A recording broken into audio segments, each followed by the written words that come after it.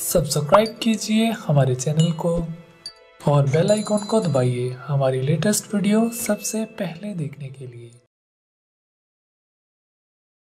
मेरा नाम राधे श्याम है। मैं दिल्ली द्वारका में रहता हूँ।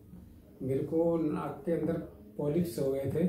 साइनस भी था, जिसकी वजह मुझे सांस लेने में दिक्कत होती थी।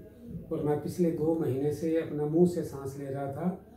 तो मेरे किसी फ्रेंड ने मुझे कहा कि आप डॉक्टर मनीष प्रकाश जी के पास चले जाओ। मेरा बेटा सिप्लॉ में जॉब करता है। उसने भी एरिया सेल्स मैनेजर के थ्रू पता कराया कि यहाँ गुड़गामा में कौन कौन से अच्छे डॉक्टर हैं। तो फिर मैं इनको आके मिला। तो इन्होंने मुझे अच्छे तरह से गाइड किया और ऑपरेशन सजेस्ट किया। तो 10 तारीख को मैं एडमिट हुआ। तो मेरा ऑपरेशन सक्सेसफुल हुआ। 12 तारीख को मैं रिलीव हो गया। इस दौरान मुझे किसी प्रकार की कोई दिक्कत नहीं हुई।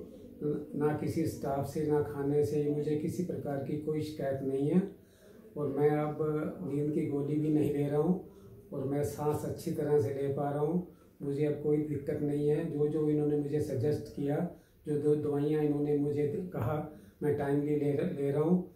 अब मैं बिल्कुल पूरी तरह से स्वस्थ हूँ।